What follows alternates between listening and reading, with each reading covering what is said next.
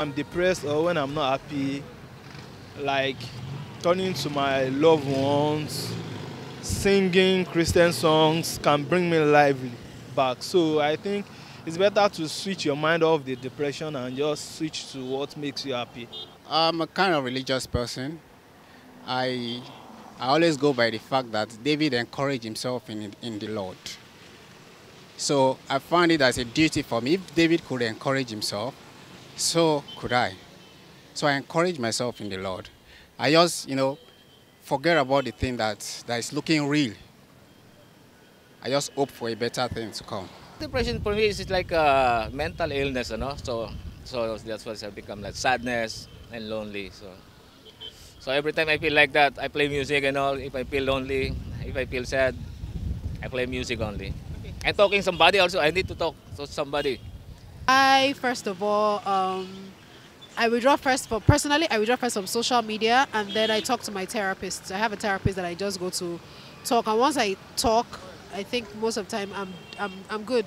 Talk, withdraw from social media, talk, and then I write. It's a very funny state for me, but uh, when it happens, what I do as a person, I I take a walk.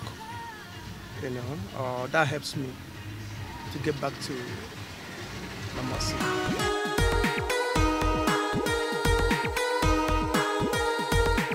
Mental health is your is like how you have emotional well-being, physical well-being. Is your mental well-being how well your mind, your state of mind is. Yeah, that's what mental health is. Be healthy or unhealthy mentally. And I think when we talk about mental health, eh, is being when you are affected mentally and when you are healthy mentally. When I hear about mental health, one of the things that comes to my mind is depression.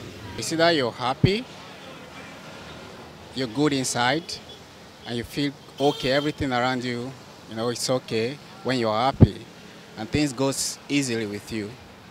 You can think things through and you think it right. You can talk to people, you can encourage people only when you are mentally okay. But when depression sets in, that's when you start having some emotional issue, unresolved emotional issue results to depression.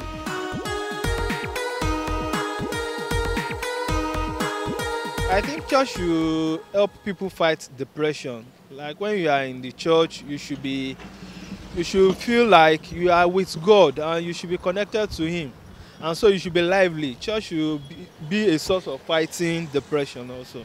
the church is supposed to be a place where people can really go to if you're a christian where you, you should go to and feel the joy of the lord but these days i don't see the church helping depression i feel to handle depression first of all it has to start with yourself The church can help, help people fight depression by letting them know that depression is actually real and it's okay to be depressed.